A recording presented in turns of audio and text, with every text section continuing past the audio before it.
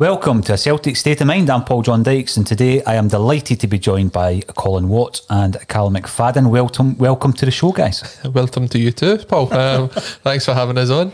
It's always a pleasure, Colin. And um, we're going to be talking about the only thing worth talking about this week the Celtic Rangers game. We've been talking about it all week.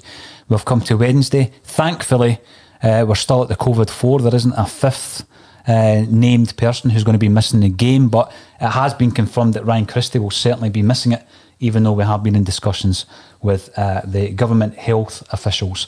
So, what's your thoughts on that one? Because that seems to be the hard, the harshest one, the hardest one to take. It is, isn't it? I mean, it's well. You say it's not his fault, but again, he, he was in close proximity to someone who had it, and that's that's just the general rule. I mean, if you're around someone, you've got to self isolate. There's there's no way of getting around it. I've seen Arsenal try to do it. Don't know if you've seen it, Callum. They're talking about Kieran Tierney apparently already had it. We just didn't disclose it. I mean, they're really going to the boundaries to try and get around mm. these regulations, aren't they? Well, I think that's uh, the main challenge at the moment is the way the re- regulations are set out. It's pretty clear, and as you've said, Colin, trying to get around them. I can understand it from a footballing point of view. You want your best players to, to be available all times, but the regulations are clear, and unfortunately, he misses out. Yeah, and just for those that are, uh, haven't seen this face to the, the left of me before, it's not like a young Jack and Victor out the still game title sequence. This is Callum McFadden from Football CFB. Callum actually joined me earlier for the Football Insomniac podcast, which you can um, check out on Facebook, Twitter, and on YouTube, where hopefully you'll be watching this now. If you are on YouTube, give us a thumbs up. That actually really helps us get the name of the podcast out there. And we're actually only now, Paul, 60 subscribers away from 3,000 the growth over the last couple of months has just been incredible. Yeah, very impressed with that. And um, if you are watching on YouTube, please subscribe to the channel. Everything we do is free, and we are broadcasting now multi times on a daily basis. After this show, Colin, I will be joined at two o'clock by none other than Johnny Owen, who has adapted this book into a documentary. The Three Kings. Have anybody seen the trailer it's uh, quite exciting actually when you look at the way that's been put together. Have, have, you seen any of his previous documentaries? I haven't, but Callum, you were speaking about this earlier on, weren't you? Well, uh, for me, it's going to be very exciting to, to see this. I mean, the, the trailer looks incredible, and there was a, a famous um, documentary years ago, Hugh McIlvanney looked at some of the big characters in Scottish football and, and Scottish football management, and, mm. and for me, this looks as if it's going to be bigger and better than ever. Well, I was just uh, obviously talking to Johnny a couple of years ago uh, on a Celtic State of Mind, and it's strange how these things happen because Edgar Summertime Jones, the Liverpool Liverpudlian uh, musician who was up here for a, a session not that long ago, introduced me to Johnny Owen because they had met at a film premiere. And it was a film that had been written by Johnny called Svengali. He was also the lead part. If anybody's not seen it, you should check it out. It's on uh, Amazon Prime, I think, at the minute, where he plays a band manager and he's trying to get a band to, to, to break it and make it big down in London. It's really funny, but the music's brilliant. Mm-hmm. And one of the songs that was in there was a song called Weed Bus. So you can imagine what that's about, uh, by a band called The Stairs from the late 80s, early 90s, uh, whose lead singer was Edgar Summertime Jones, who oh, obviously okay. I uh, became friendly with over the years. So Edgar put me in touch with Johnny. Johnny is a Celtic fan as well as obviously having um, his affections for Nottingham Forest and Cardiff. And he came on the podcast and spoke very, very well and with an in depth knowledge about Celtic, but in particular about Jock Stein. And I know from researching books that you've got a good knowledge of a certain subject, Colin, but once you actually research it, maybe for a book and you interview people around about it, your knowledge goes through the roof. And the way that Johnny was talking to me about Stein, I knew this isn't a passing uh, interest that he has in Jock Stein. He's been researching him. So I asked him the question on the, the podcast about two years ago, and there was a slight pause because he didn't want to give the game away. but then he says, if I do make a Jock Stein documentary, you'll be the first to know. So we organised to get the book sent up, um, which was written by Johnny and Leo Moynihan. Fantastic book. And that came up last year, about a year ago actually, with the promise that the documentary would follow. And then that trailer dropped this this week, and it just looks absolutely tremendous. And one thing you do know is that it will be done well because Johnny has the passion not just for the three uh, figures in there, but he's got a passion for Celtic as well. So it's not as though because of the English football bubble, all the focus will be on Shankly and Busby. Stein will definitely be well represented in there, and I'm looking forward to it. So he'll be coming up at two o'clock. So get involved if you've got any questions to ask uh, Johnny. Johnny's partner, obviously, is Vicky McClure, who um, acts alongside uh, another big Celtic man, Martin Compston, in Line of Duty. Which is on my list of things I need to watch. I I've can't never- believe you've not seen that I've never seen it. It's I brilliant. just watched Peaky Blinders, and that's been out for seven years. Oh So- no, Line of Duty is absolutely fantastic. it's on the list, Colin. It's on the list. I'm currently watching Taboo, which has got um, Tom Hardy in it. That was Oh, on the back okay. of watching Peaky Blinders. Anyway, we we digress slightly.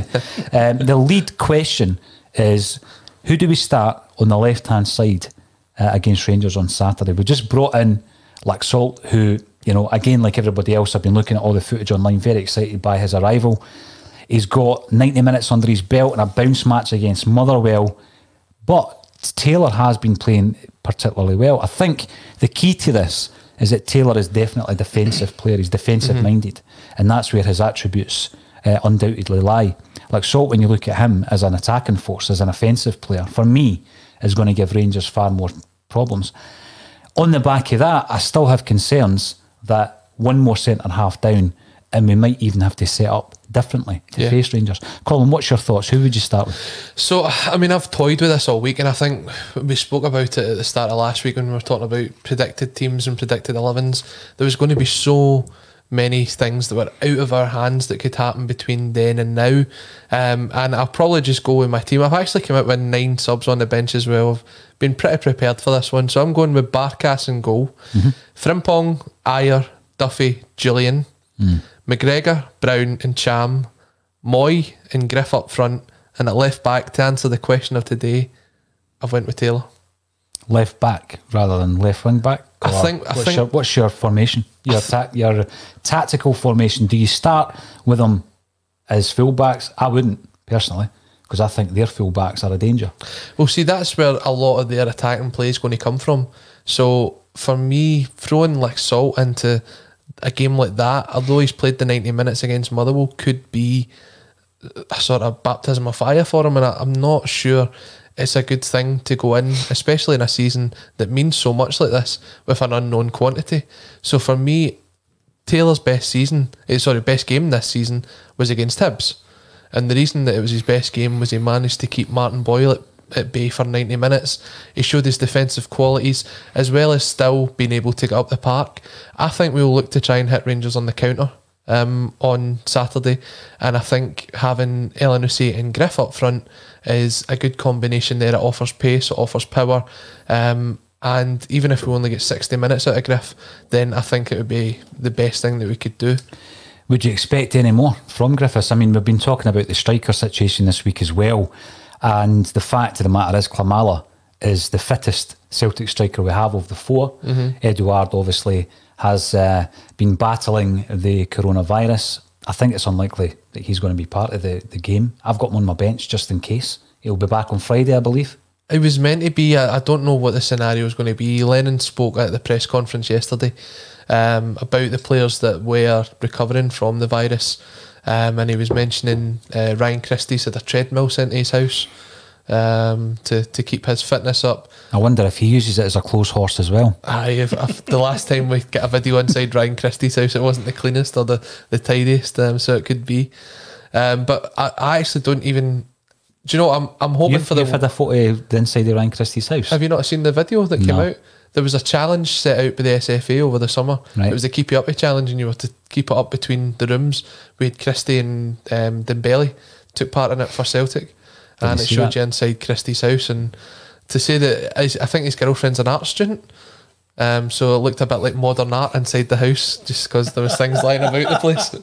Um, I've actually not got Eddie even on my bench, just because I'm hoping for the the best, but expecting the worst here. Um, in the scenario that something will come about that he, he won't be around for the game. So at the bench, I've got Bain, Lassalle, Ajeti, Turnbull, Johnston, Klimala, Soro, Welsh, and Dembele. Is it been confirmed that Johnson is fit? He's back training. Yep. Um, looking at the, the clips that we've seen from Celtic's training sessions, he is back in, in there. Uh, and I think with likes of Christie missing out. Um, even if you only get 15, 20 minutes out of Johnston, it's definitely someone that you can turn to. Interesting uh, choices all round there, I think, because you know we've brought in, and there's been a few pronunciations of uh, Laxalt on this podcast, and uh, I believe that it's Laxalt with a silent T. But we'll see how the commentators deal with that on Saturday. Um, so you're, you're going to throw Johnston straight in there uh, in the, on the bench. Um, we're also playing with Jullien being thrown back in, first game since the Ross County match. And you're happy to play Griff up front, even though he's only played 20 minutes. Do you see any of that as a risk, Colin, or do you think that's just needs must at this moment? Do you know? I think these games are built on risk, and I know I, I mentioned earlier I wouldn't throw Lassault into this or Laxall or Diego. I wouldn't throw Diego in for a baptism of fire, but I think you can get away more with taking a risk towards the forward line is what you can in, in defence. We, we spoke about this in the Insomniac podcast earlier. When you think of the the howlers, Shameless plug. well, if you want, you can watch it on Twitter, Facebook, and YouTube. Um, when you think about like football howlers over the years, it's always defensive mistakes, it's always goalkeeper mistakes, um, and when you look at players that made their debut that you remember, we spoke about this last week. We had um, Fernando Ricksen, who played his debut at Celtic Park and was torn apart by Bobby Petta. Um, we had um, the the fullback for Celtic. I've totally his name's totally forgot me. Scored the goal at Ibrox where McGregor threw it into the back of the net. El Kaddouri. El Kaddouri, that's it. That's what First we name brought Callum badge. on for. First name badge. Um, badge El Kaddouri. But it's guys like that that you remember if they have a bad game hmm. because they tend to be the ones that make the mistakes that cost you. Whereas up front, if you have a poor game, then it doesn't seem to let the side down now and again. You know, talking about the unknown quantity, the baptism of fire, that can work the other way.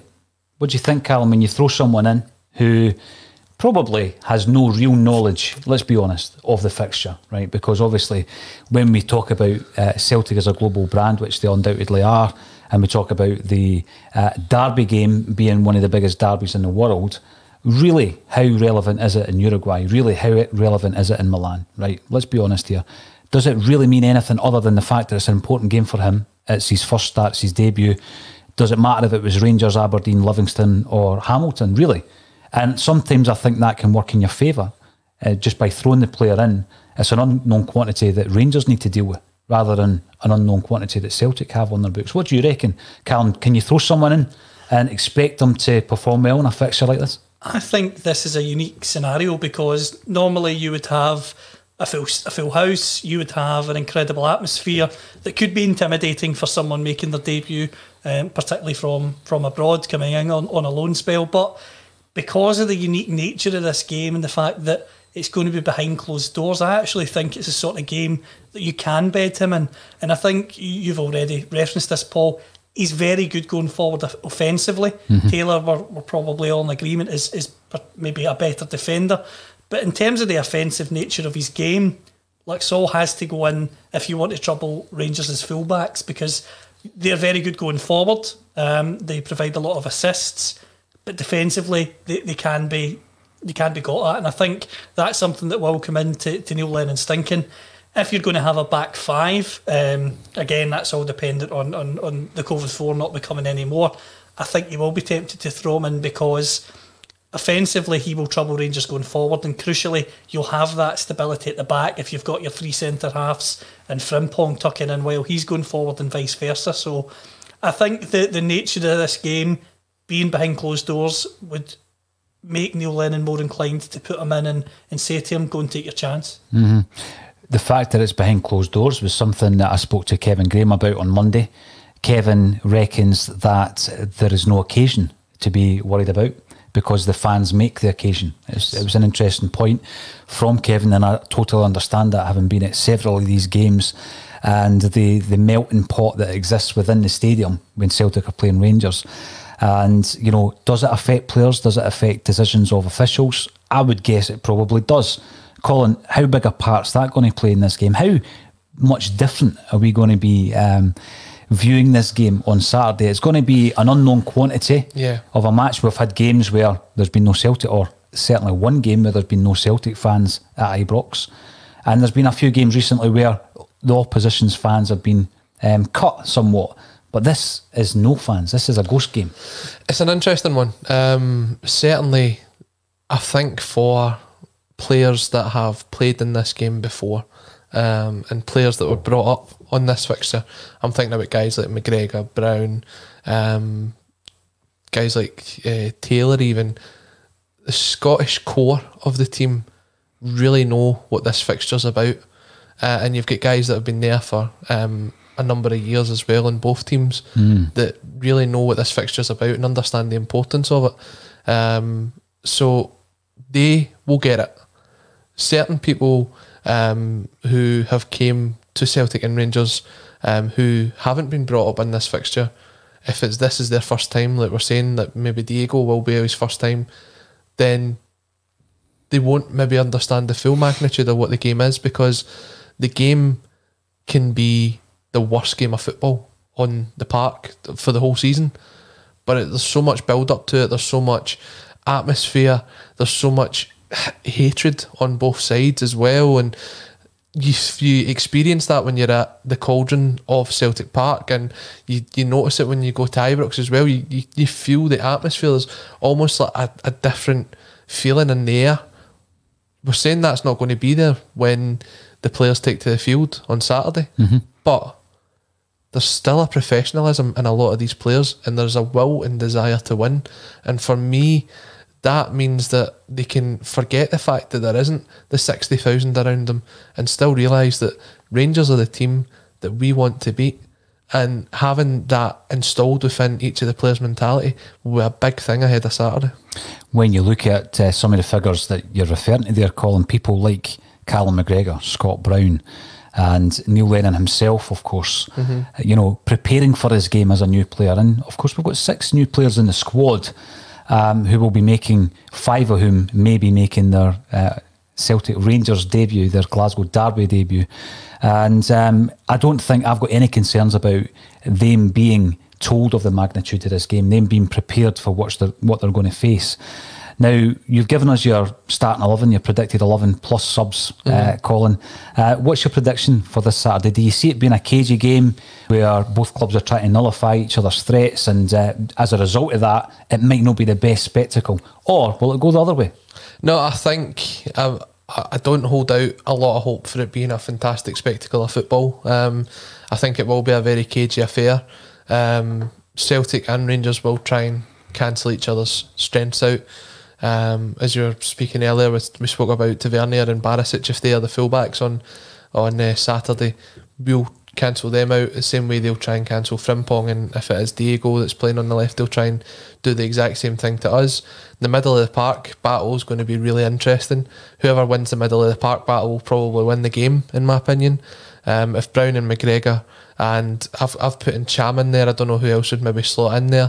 Um, can kind of get on top of guys like Jack and Davis and Kamara, then we, you've got the the impotence. Sorry, impotence. See, a wee one for all the ones that were watching there that had to go at me last week. Impotence, um, and it's just about getting the sort of service up to the, the front two. But for me, I think there might only be one goal in it. But I, I wouldn't. I'd be um, naive to make a prediction now. No, one goal in it for who, Colin? Come on, get off the fence. It's- okay, one 0 Celtic. Okay. Right, glad we got that out on Callum. Callum, I'm going to ask you for your predicted 11 in a moment, just to let you think about that if you haven't already prepared one. Um, I'm going for Barkas. This has changed two or three times over the last week for Yep, obvious I'm the same, reasons. yep. Um, central half trio of Jullien, Duffy, and Ajer. I've said previously, you know, uh, I think Duffy is bringing a solidity to Ajer's play as a defender. Um, you know, he's doing a lot of the defensive stuff now that perhaps, you know, he, he was good on the eye. And a lot of the kind of the dirty work wasn't maybe being done. Duffy is instilling that in him. Jullien, is, he's going to have to play. We have no real choice. If you want to keep the shape there, you're going to have to play Jullien, even though he hasn't played in around a month. Uh, you've got to put him in there. Does he perform well against Rangers? I think he does. I think he, he rises to that occasion Definitely, aye. normally. Um, I'm going to play with Frimpong down the right, one of the first names on the team sheet at the moment, with Laxalt down the left. Uh, again, just to attack the, the two fullbacks uh, of Rangers, with Brown and McGregor in the engine room, and Ntcham in front of them. One out and out striker in Griffiths with Elyounoussi playing off him. And I think Elyounoussi was playing last night, wasn't he? So, you know, he needs a couple of days to recover, but I definitely would start with him. So we have one change. That's the only difference, and that is the lead topic today: is whether we play Diego or Greg. I'll just go with our first name. My subs are Bain, Ajeti, Klimala. I've got Edouard in there. I'm not sure 100% whether or not he's going to be available for selection. Tommy Rogic. Um, Bitton is now Soro. Uh, Elhamed is going to be Welsh, Turnbull, and Taylor. So that's my starting lineup with a few changes. Um, what about yourself? What's your thoughts on how Lennon will line up? To be honest, Paul, it's very similar to yours. Yours, Barkas and goal. The back three, in terms of the centre halves, picks itself. And, and Ajer, Duffy, and Jullien. Frimpong will start on the right. And I, I think he will start Lasso. Um, I think he will start on the left side because, as, I- as I've said in my previous answer, I think the fact it's behind closed doors, it will give Neil Lennon more confidence to put him in, even though it's going to be his debut in, in such a, a massive game, being the Glasgow Derby. Um, but I think he will put him in. In terms of midfield, completely agree with, with yourself and Colin. McGregor, Browning, and Ntcham, I think, will be the, the midfield trio. Turnbull obviously played well uh, again for the Scotland under 21s. I think he's a player who will be itching to get a start and would love to start in a game like this. But I think Neil Lennon will go with the tried and tested and Ntcham in this situation. Elyounoussi um, definitely will be behind Leigh Griffiths, I think, will get the nod because of the previous experience. And I think in a game of this magnitude, Neil Lennon knows he can hang his hat on him and he'll get a performance from him. However, Ajeti's an interesting one because he's definitely got goals in him as we've seen so far. So it'll be interesting to know if he's tempted at all to go with Ajeti from the start because he has played more minutes this season than Leigh Griffiths. Mm. The interesting one, that just when I went through your bench there, and it was someone I actually managed to forget about, was Tom Rogic. Um, obviously, he hasn't travelled as part of the international scene at the minute, so he has been at Lennoxtown doing training. Um, who do you think out of the two would provide a better service up to Griffiths? Because I think that would be the only kind of 50 50 there is do you play Elyounoussi as a second striker with Griff up top? Because we know Griff can play as a lone striker and has been effective in that role. Or do you play Tom Rogic as a sort of attacking midfielder behind it? Someone that, if you are struggling to get a grip of the midfield, can then drop back again, but also has the ability to split a defence and play in Leigh Griffiths? I think I would go with Elyounoussi for the fact that Rogic simply hasn't had enough game time. And this is the biggest game of the season, uh, undoubtedly. We know what Rogic can do. It was great to see him coming on against St Johnstone, calling something that I'd been calling for, for weeks and weeks. Um, but I don't think Rogic will be the surprise. It wouldn't come as a major surprise to me if Lenny picked Klimala up front. I think that might be the surprise. I, I'm taking it for granted Griffiths, but he's only got 20, 20 minutes really. I know that he's had the bounce game against Motherwell and then previously the friendly against Hibs. But with 20 minutes, do you throw him in? Or is he a weapon for the last 20 minutes, the last half hour? It's an interesting point um, because we, when we were doing the St Johnstone game, um, we were, we were kind of talking about that, and Lawrence was mentioning how um, Klimala's got a fantastic goal record. I think it's like a goal every 30 minutes or so. But I think he's only made one start this season. Um, the rest of the times it's been coming off the bench, and we, we did mention that we thought he could be an impact sub for Celtic this season, something that is a fantastic asset to have. So, in that sense, and when I go back to talking about players that really understand the game and have that passion for this match, um, if you play Griffiths up there for 60 minutes, you know that no matter what kind of condition he's in, he will run his socks off for 60 minutes as well.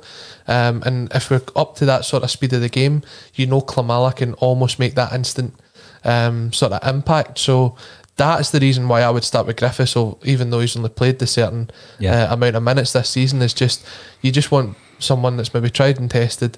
Um, and someone that really understands that what is needed in a game like this, and I think Griffiths running at that back two that they've got can cause him a lot of problems.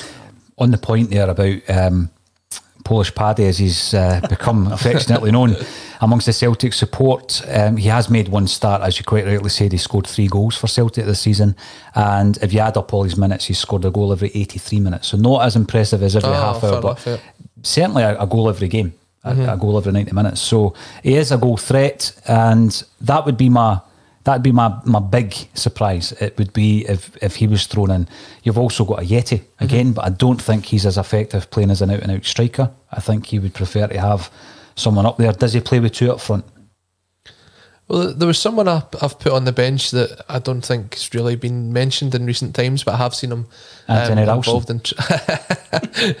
yeah, Listen, Frimpong's he out and the other day. Ralston's in. He Ah, scored. I heard, yeah. Um, Karamoko Dembele. Now I see he's, he's back in training for Celtic, and um, in the videos that Celtic have released, he certainly looks to be part of the, the squad. I think he played in that game against Motherwell as well. Yeah. Um, you're looking at Frimpong coming down the right hand side.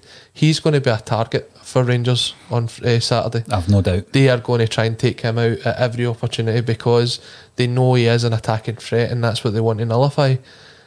We are probably going to need to bring him off at some point because I, I'd be Just surprised they'll boot him all over the park. I'd be surprised if he can make it through the 90 minutes without either picking up an injury or just being absolutely knackered from the amount of times he's had to pick himself up. Mm-hmm. So, who else is really out there? As you mentioned Ralston, I don't think he'll be on the bench on Saturday. So, it's Dembele is the kind of only other option at playing there, but he's not really defensive minded. Right, I've, I've thrown in Ralston's name. No disrespect to the boy.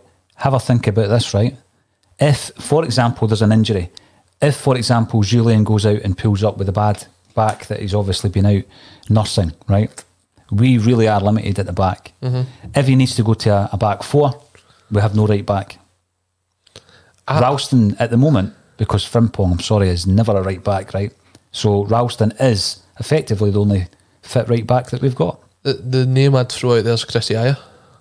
He's playing at right back. I, I mean, it's not ideal, but if you had Ajer or Ralston, I'd probably go with Ajer. And I, play someone of position rather than play I, I know it's it's a it's a hard one, but Tony. seeing the the, the times that we've seen Ajer at right back, he has been very effective. I mean, again, I love mentioning this because it's so good. The wee flick out to Elhamed for the the goal against uh, St Johnstone Yeah. was outstanding. When he played there um, at Pittodrie, um, when he scored the goal from the right back position, uh, and he played there at Fir Park against Motherwell again, where he scored. Um, so he has been proven to be effective out there. It's not the ideal scenario. We don't want to play him at right back. As we've all agreed today, that we have a, a three of Ajer, Duffy, and Jullien. But if that becomes a potential issue with Frimpong um, during the game, I, th- I can see him moving Ajer out there and going to four at the back. For anyone who's just tuned in, I'm not actually lobbying for Anthony Ralston to start against Rangers. what I'm saying is he's the only fit right back we've got in the books at the moment. But interestingly, you brought up Ajer. He is very adaptable. I mean, he was a he was an attacking midfield player when we bought him, and um, I think what age was he when he made his debut over Norway? 15? 15, First- 16, first team yeah. debut. He came out and said uh, over the last day or so, I haven't rushed to move on. So he was talking about the speculation linking him to AC Milan and the fact that I think his previous agent uh, was very vocal in trying to get him a move. And obviously, AC Milan's Paolo Maldini, one of the finest defenders in my lifetime, confirmed their interest. But he has come out and said he hasn't been pushing for that. So it's great. After the Kilmarnock game, he was obviously dropped. It's great to see him back in. And I think he's benefiting massively from playing alongside Shane Duffy. Definitely, definitely, I agree with you. Um, and something that you said earlier as well is something I'd love to ask Callum about is if we do pick up an injury. Now we've, been kind of lucky that Jullien stayed in Scotland. Ajer's came through the Norwegian camp, um, and Duffy managed to avoid the players that picked up the, the virus in Somehow. the Irish camp. Yep. Um, so it only really leaves us with uh, Stephen Welsh. And he was on loan at Morton last season. I know, Callum, you got to see quite a bit of Morton last season. What was he like when he? Because he played right back for Morton as well, didn't he? He did. He was he was playing it right back for Morton quite a lot of the time, and, and at times he, he looked a bit uncomfortable on the right hand side. Um, going forward, he, he's not someone who's going to offensively trouble um, the opposition going forward. But defensively, he can do a job in there. Crucially, though, in a game of this magnitude, would you want to put that pressure onto him? I don't think you would. But you're you're right in saying it's another option because I mean, Paul, you mentioned if, if Jullien um, picks up an injury or, or is out for whatever reason, and you go to a back four, and you mentioned playing Ajer at right back. I mean, if Ajer goes to right back, who would be alongside Duffy? It would it would have to then be Welsh, you would mm-hmm. assume. So there is a fair chance that he could be involved. For me, he's, he's far more comfortable as a centre back than than he is on the right hand side, and and for me, that's where I think he will be best utilised, whether that's at Celtic or long term in a loan spell or whatever. But definitely, he's more comfortable in the centre for me. Lots for Neil Lennon to consider. So let's have a look at uh, some of the comments coming through, Colin. We've got plenty of comments coming through on YouTube. Twitter and on Facebook. And as you quite rightly said earlier on, we're almost at 3,000 subscribers on the YouTube channel, which is where uh, all the broadcasts are archived. So if you want to keep up to date with what ACSOM are doing, get subscribing on there, please. Rory Grant on YouTube. I think uh, we throw a fell in at the deep and keep Taylor.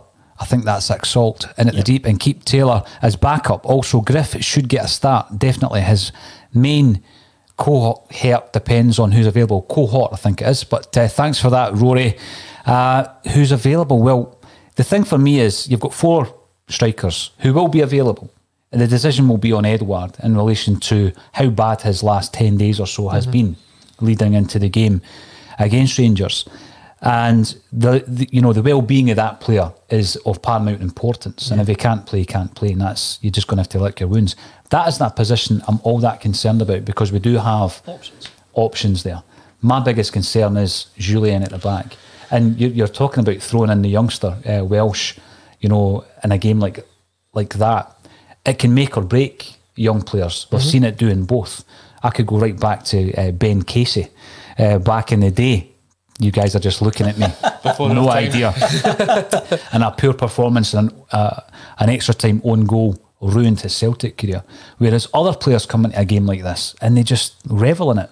Now, talking about unknown quantities, somebody just came into my head there who performed really well against Rangers, and it was Enrico Annoni. Now, we had this issue of Brian Laudrup, who, you know, Celtic fans will admit what a player he was. Mm-hmm. Uh, he was absolutely outrageous. And he wasn't a player that you disliked. You know, when you go into these games, you dislike players like Terry Hurlock you know, for obvious reasons, or people who get in about the Celtic uh, players. And he he was a class player, but Annoni famously was able to to put him in his back pocket. And was that due to the fact that he'd played in Italian derbies and he had played against you know players who were of a much higher caliber than Brian Laudrup, and that was Annoni's words. I mean, he'd played against Ruud Gullit, Maradona, Baggio, Laudrup's bigger brother, Michael. Um, and he says that they were all much harder to play against. He then plays against Laudrup and he thinks that this is no problem. So if you get someone like Laxalt who has played in uh, you know international finals and he's played um, at the San Siro and in Serie A, throw him in. He'll have no issues whatsoever playing against Rangers. That's my, my take on it. Yeah, I, I mean, I really hope that is the case. I mean, we are talking about, we're not talking about a, a young boy, do you know what I mean? I think he's what, 25, 26, something along them lines. He was in the, the team of the tournament at the last World Cup. Mm-hmm. So there is obviously undoubted talent there. It's just a thing. I think when you see someone sign for Celtic, it's just you see them sign and you go, well, okay, I'll see them in three weeks' time when they eventually get a game. Um, we don't tend to throw players in at the deep end, so maybe this is um, against the curve and something that we will see at the weekend. Now, you guys were talking earlier on on the Football Insomniac about bad signings, I think, was yes. one of the subjects. And we started getting chatting about big money signings. And uh, one of the ones I threw into the mix was um, Ollie Burke, who had a short spell at Celtic. Um, very successful for him because he won trophies, etc. But obviously, Neil Lennon came in and decided, I'm not going to play this guy because he's not going to be at Celtic next season. And I asked the question in combined transfer fees, is he the most expensive Scottish football footballer in history? Because you reckon that his last transfer fee was 20 million? No. Uh, 15? 15 million. 15? And he's had a few of them. Yeah. Mm. He's had three big, big money transfers. So, I mean, anybody on there uh, watching this show who can confirm that. So, he had a big transfer to Salzburg, a big one to West Brom, and a big one to Sheffield United. Eh, where is he at now? Sheffield Yeah, United. Sheffield United, isn't Yeah. it? Aye. So you're talking 45 million quid I mean, he potentially. must, he must be up there with the likes of Ross McCormack for the amount of money that he went for Because well. for a spell, Steven Fletcher was the, the biggest, wasn't he? His transfer fees. Because Um, he, he went to, to Burnley, then Wolves, and Sunderland all for, for quite big fees. Yeah, and it's incredible when you it's Ollie Ollie Burke who isn't even in his mid twenties yet, and he's potentially moved for forty five million. I mean, It's I, incredible. I remember um, Scotland played um, against Israel in the Nations League. We seem to always play against Israel, um, but it was at Hampden, and I listened to the game on the radio uh, for whatever reason. I was travelling at the point, and uh, I listened to the game on the radio, and there was no halftime analysis. The whole halftime was spent describing why Ollie Burke was not a football player. He was more of an athlete, and I totally understand that because we've got to the stage where Burke is like what 25 26 again and he lacks the basic things like a first touch or the ability to put the ball in the back of the net he, he's a he's a sprinter at heart in my opinion I don't know what you think Callum I think the, the thing with Burke is it's the dreaded thing in football when you get the tag of the next so and so, and when he makes the move abroad, you get that tag of the next Gareth Bale, which I don't think helped him. The the thing that that, that puzzles me with Burke is the fact that he's played in he's played in Germany, he's played in Spain, he was on loan at Alaves over there as well, mm-hmm. and you just think to yourself, there's got to be a player in there, there's got to be something that managers continue to see. Hmm. Chris Wilder, of course, very highly rated down south, has clearly thought I can sign him and mould him into something new potentially. But as you say, Colin, a lot of the time he seems like someone who you want to get in behind, you want to to, to try and really just run um, to, to exploit opposition defences rather than trusting them to, to, to finish when, when, when it matters. I mean, I remember Celtic's game against Livingston under Neil Lennon. Um, at home, it was a draw, and, and Burke missed an absolute sitter that day. Yes. For me, that just summed up the fact that he's not a natural finisher, and that's been seen for me wherever he's went. West Brom were a, a club that signed him for a lot of money, and they, they weren't particularly fond of him in the end, and were quite happy to let him go. I said Salzburg earlier. I meant Red Bull Leipzig. It's easy to get them mixed up. and they're all Um, the same people Yes, uh, twenty three years of age. Yes, is that all he is twenty three. Yeah, so that that's quite incredible. But again, I think that says more about the English game than the player. The how player's many- obviously got something for these teams to be buying Yeah. them for How many vast moves sums of has money. he had at the age of 23? How many clubs is he on now? Well, I mean, permanent clubs like we say, Forest, uh, Leipzig, West Brom, and Sheffield United, with spells at Bradford, Celtic, and Alaves as well.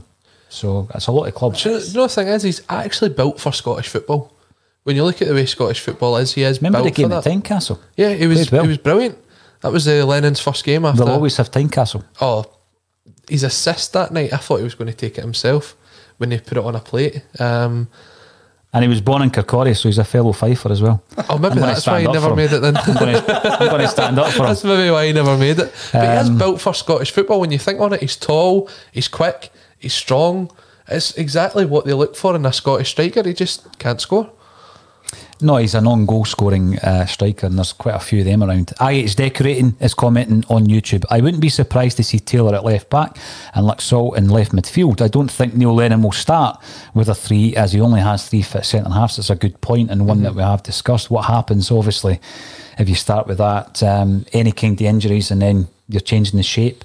But again, you do have the personnel, even with the the COVID four as we're calling them missing. Uh, you do have the personnel there to adapt as as the game moves on. Be that because they're getting some joy down one area of the park, or if somebody gets injured. So I still think we've got the strength on the bench. Yeah, I, I'd agree with you. Um, but uh, with the strength that we talk about is players that can come off the bench and change the game. It's not really going to be players that we can bring on to sort of solidify the game. Mm-hmm. If you're looking at some of the players that we've we've looked at and put on the bench, we talked about Welsh. We've got Soro in there. You're missing Beaton. You're missing Elhamed. You're missing the sort of defensive minded players. So what we've got on the bench is really guys that can come on and change a game. Guys like Ajeti, Turnbull, Johnson, Klimala, Dembele, all attack minded players. If we're going to try and see this game out, there's not really a lot of players in there. Maybe that's where Ralston does make the bench. Do you um, stick by Dembele or do you bring Rogic in now that you realise that you've made an error? Uh, I'll come back to that.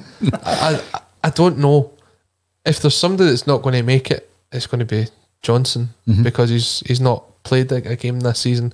I brought him in as another option on the left hand side, but you've obviously got Taylor and Laxalt there or Diego or however our Spanish correspondents are going to pronounce his name. But Rogic is someone um, who can again change the game, but not a defensive minded player. So if we are, say, 1 0 up after 85 minutes, the, the options to bring on there are Soro and Welsh. Um, and we've not really seen a lot of what they can do. So I don't know if that's someone that you would turn to in that scenario. Brian McLean um, on Twitter makes a good point. Arguably the easiest derby ever to make a debut with no fans. So he would throw Laxalt in if he's fit. And I think that is a good point. And now we were talking there uh, earlier on about uh, Ryan Christie, and we mentioned that um, he will not be part of the squad, even though he's fit, he's not ill. Uh, but unfortunately, he will not be clear to face Rangers. And you're looking at the fact he would be a definite starter. He would have started that game, absolutely no doubt about it. There's uh, two kind of views on this from Celtic fans. One view is that he doesn't do enough, he plays for Ryan Christie. The other view is when you look at the amount of creativity that he brings to the team, he's a, he's a definite starter.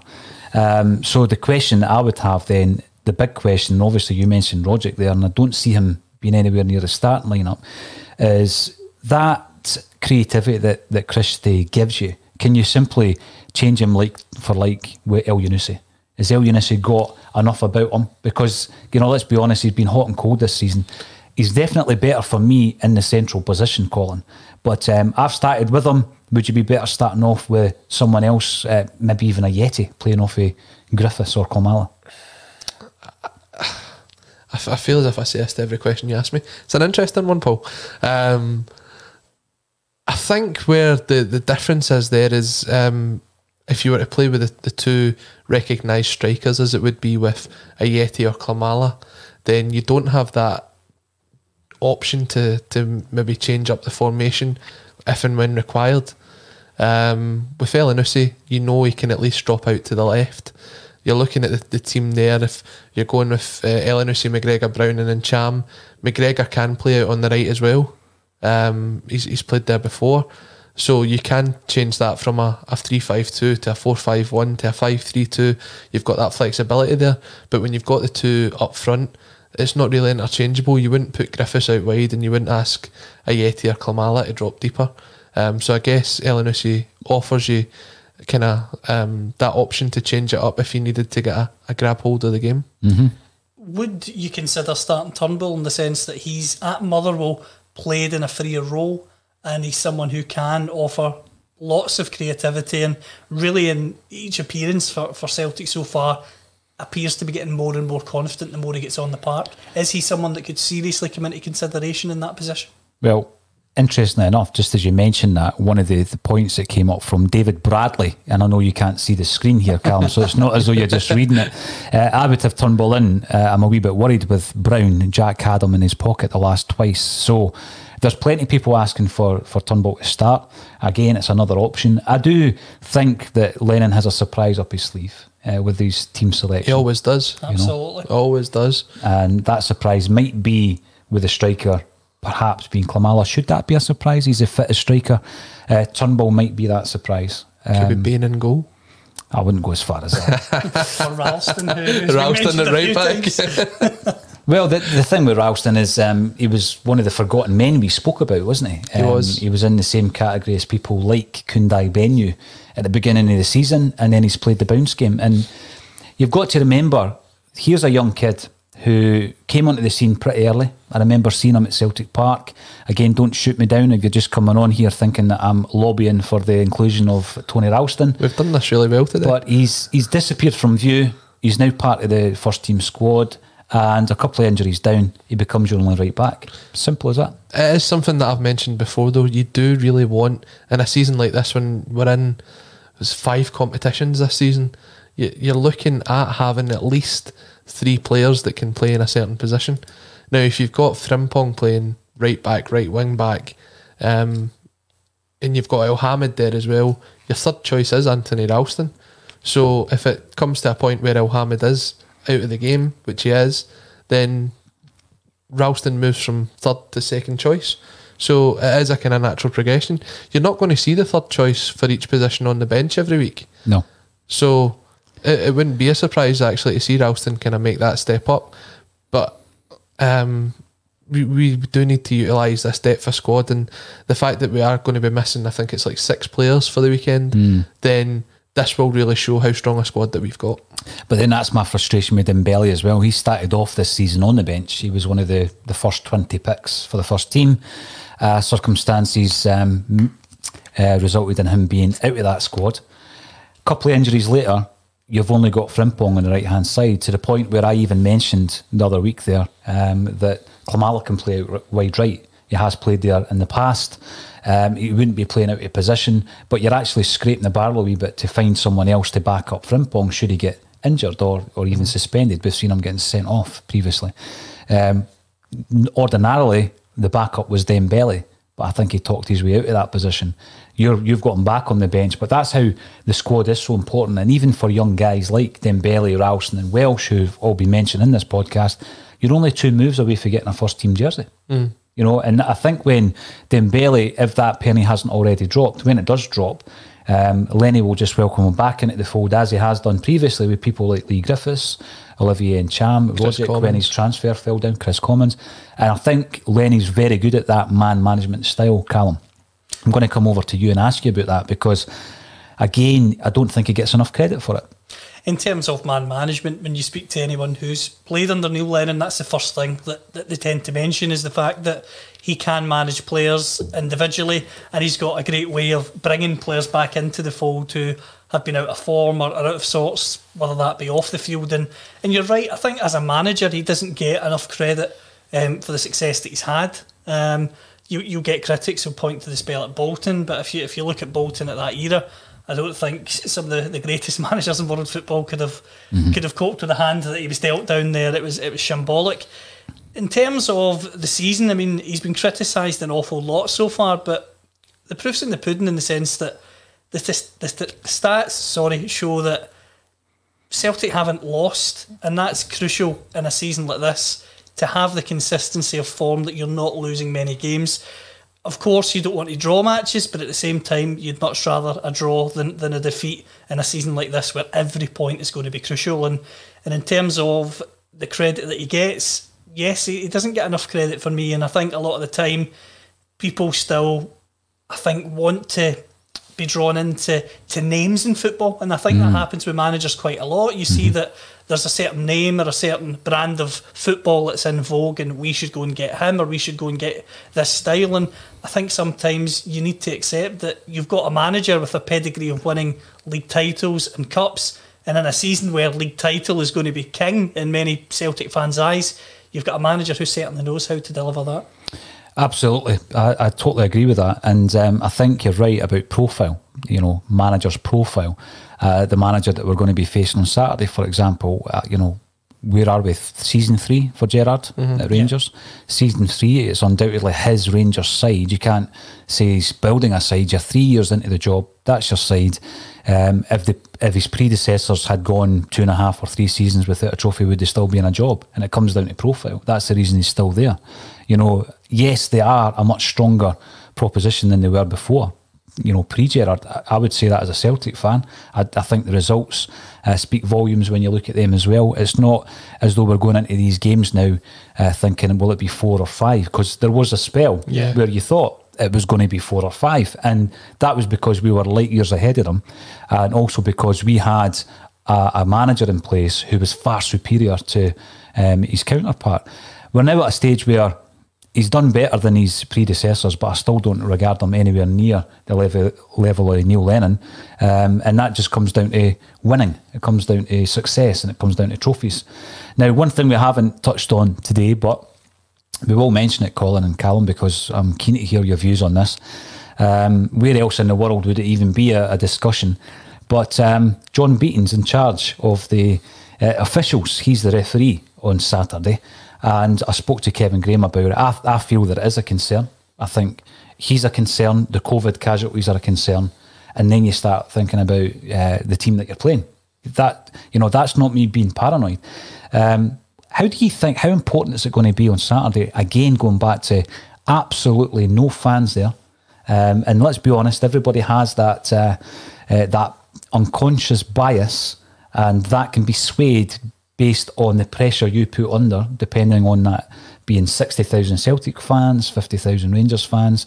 That's not there. It's just John Beaton making his own decisions and he's not being swayed by a home crowd. That worries me. I think for, for John Beaton, I think as a referee, he, he, he won't say it publicly, but I think he'll be very relieved that he's going into this game uh, on Saturday with no fans there. I think it's going to be a unique experience for him because anyone that's that's refereed at a game of such magnitude has fifty thousand or sixty thousand fans paying for their team to win. So I think he'll be relieved to be going into this game with no fans. But crucially, he's going to be under the microscope arguably even more because you know what it's like. We all know what it's like. You go to a game and you might need to watch the decision again when you go home because you didn't get the perfect view from where you were sitting. Whereas the fact that everyone's going to be watching this on television, or most people anyway, other than the journalists that are there, means that every single decision is going to be arguably under the microscope more than ever because everyone watching who's a fan of our Celtic or Rangers is going to be getting the replays, getting things slowed down, and he's going to have to have a really strong game. Whether he can do that, whether he, that's going to be the case, obviously I don't know. I think for him, though, he will go in arguably more relaxed than he normally would, or any referee would, to, to a game like this because of the, the lack of a crowd. But what I would say in regards to John Beaton and, and referees in Scotland is it's quite a small pool to choose from. So I feel like it's the unenviable task. I, I, I feel because there's only a select few that would be trusted with that game. And I think it, it gets to a point where John Beaton's finding this now where he's refereed it quite a few times, and Craig Thomson, I, f- I feel, used to find that as well. Mm-hmm. Celtic are playing Rangers, or Rangers playing Celtic. Craig Thomson referee, and I think there's a wee bit of that with John Beaton that's crept in because he has refereed it so often, and mm-hmm. and, and I think that's something that can never be easy because in, in football, whether it's a player or a referee, mistakes will always be mentioned. So it'll be interesting to see, especially how he handles it given the unique circumstances this time around. I think it touches on something that you just mentioned, Paul, is how close this game's going to be. And we spoke about how much Rangers have developed as a side. Now we know they were pretty much at rock bottom at times and we're turning them over four goals here, five goals there. Um, but now the, the, it's getting tighter. Um, and the decisions that these referees make well could be the difference between winning and losing. Yeah. Um, and I, I don't hundred percent buy into the fact that the the referees going in there to deliberately make decisions. I think um, they, they don't want to. You don't ever want to turn up at your job and do a terrible job. Do you know what I mean? I know there'll be a lot of people out there that think that there's definitely a, an unconscious bias out there. Um, but it is because the game is going to be so close that John Beaton will be under the, the microscope as such, and um, Celtic fans are going to say that the decisions lent one way, Rangers fans are going to say it the other way. Um, I just want to go out there on Saturday and beat them on the park, no matter what John Beaton does and tries to do. Um, I just want Celtic to go out there and be the better team on the day. The concern I've got is you could be the better team on the day, Colin. Um, and if it is a tight game, when it's been refereed by someone who celebrates Rangers victories at Ibrox by going into a Rangers pub, that is a concern. Mm. That's not paranoia. That's not me howling at the moon. That's what happened the last time Celtic were defeated at Ibrox 1 0 and Beaton as the, the referee. He was in a boozer celebrating with Rangers fans, getting selfies, all this kind of stuff. Now, they weren't photoshopped images. That no. happened. But do you think then that then kind of puts the pressure on him not to be as biased? Like if you're looking at a 50 50, generally, if, you're, do. if you're looking at a 50 50, for example, right, and it's Brown and Jack going in on each other, if you if, if if you're him, right, and you're thinking, in the back of my mind here, it's going to be all over the front pages of the paper on Monday. These old pictures of me in a, a Rangers pub. Mm. Does that almost give you the the kind of thing to go? I can't come across as being too biased. I don't know. Do you know? There's going to be a lot running through Beaton's head between now mm. and Saturday. In the same way, there's going to be so much running through Gerrard and Lennon's heads over team selection. He the the man that's going to be watched the most out of everyone that's on that park is going to be John Beaton, and um, I I don't envy him in the fact that he's got to do it, but I, I just hope that he comes out with a professional performance. I think it's one of those ones where the, pressure, you're right, will be on him. As, as I mentioned, the, the fact that everyone's watching it at home arguably puts the referee under the microscope even more because everybody watching is going to have the benefit of replays rather than the, those.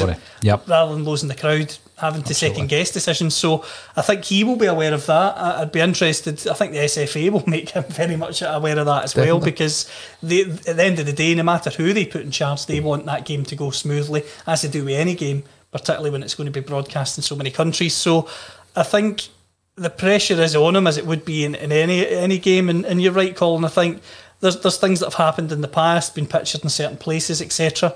Um, and I think he will be aware of the the reaction to that. I think he will be aware that it's something that does bring scrutiny and and I think as well he's, he's also been through the mill in the sense that he's had to have security accompany him to certain games he's had his house targeted etc so I think he's he's seen lots of different sides of the extreme uh, when it comes to Scottish football and crucially I think let's be honest putting yourself in his shoes I think he'll just want to get out of there with as low key a game for himself as, as humanly possible I Now, think, I sorry. think one of the sorry, just on that, I think what he'll- he'll need around him is a strong team.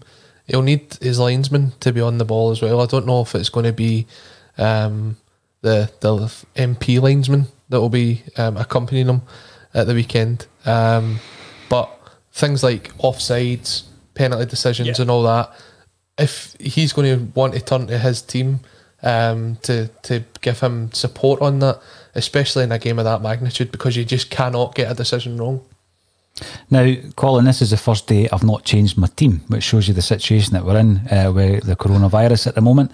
I have predicted 2 0 Celtic. I'm going to say Duffy's going to open the scoring and um, we'll all go absolutely wild when it happens. You're going 1 0 Celtic. Callum, what's your prediction? I'm going to go for two one um, to Celtic. I think I think Rangers will score on the day, but I do think Celtic will will will be victorious on Saturday. I think going into this game, I, I mentioned to, to, to Colin off air, if there are another if there's another one or two call offs or it stays at the four, Neil Lennon's the sort of guy you, you mentioned earlier, Paul, when it comes to man management. Neil Lennon will build a siege mentality going into the game and basically we'll, we'll explain to the players we've been written off. People are saying we can't cope without him, him, and him. Let's go and prove our point. And, and I back Celtic to prove their point on Saturday. And crucially, I think Neil Lennon will be delighted to prove his point, especially in the press afterwards, because as I've said, he's been given a lot of stick this season from certain elements, whether that be Celtic fans or journalists. And I think he will want nothing more than to, to have a good, comfortable win on Saturday and explain to the to the press in, in no uncertain terms that he's doing a good job domestically this season. Absolutely. And again, I'm looking forward to it. Even though we've got a few bodies out, I'm still looking forward to it. We're going to be covering all the action from a State of Mind Studios half an hour before the game at half time and for 30 minutes after the game. We're also going to give you an extra bulletin on Friday night that will be running from around 8 o'clock where you can all tune in and let us know your views the night before the big game. We've had loads of comments coming through on Twitter, Facebook, and YouTube. If you haven't already, please subscribe to A Celtic State of Mind on the YouTube channel because we are heading towards 3,000 subscribers. Might even run a competition and give out some prizes and things like that. Colin, if I can dig some prizes out from the uh, State of Mind studio. Uh, at two o'clock, I will be interviewing Johnny Owen, who was one of the co authors of this book, which has just been adapted into a documentary. If anyone has seen the trailer out there, you'll be excited. This is the Three Kings, the makers of modern football. All that's left for me to say today is Colin Watt, Callum McFadden. Thanks for joining me on a Celtic State of Mind.